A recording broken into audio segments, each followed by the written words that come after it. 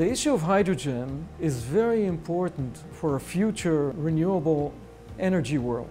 Today, the hydrogen mainly comes from fossil fuels.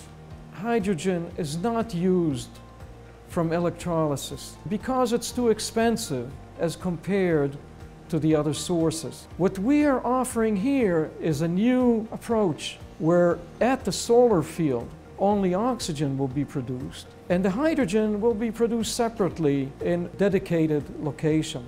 This physical separation of the location where oxygen is made and where hydrogen is made is a game changer. So we take two separate cells. In one of them there's the oxygen electrode, the other one there's the hydrogen electrode. And we also use a battery electrode to communicate between the two cells. This battery electrode has the capability of absorb and desorb ions.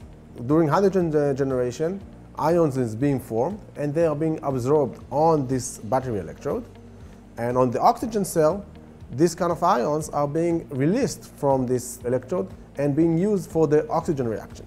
By doing that, we are able to completely separate the two cells and we can put them as far as we want. For example, you can have the solar field in the Sahara, while the hydrogen will be generated in a hydrogen refueling station in London. We actually did a preliminary cost comparison between the conventional photoelectrochemical design and our two-cell design and found that this new approach has the potential to decrease the expenses substantially and bring photoelectrochemical water splitting one step closer to actual large-scale utilization.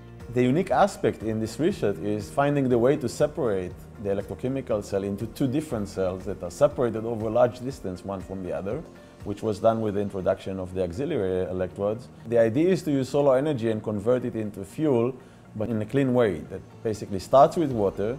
We use the solar energy to split water to create hydrogen, and then when we use the hydrogen, we get the water back. So it's a closed cycle that starts with water and ends in water, and in the middle, all the energy source is coming from the sun.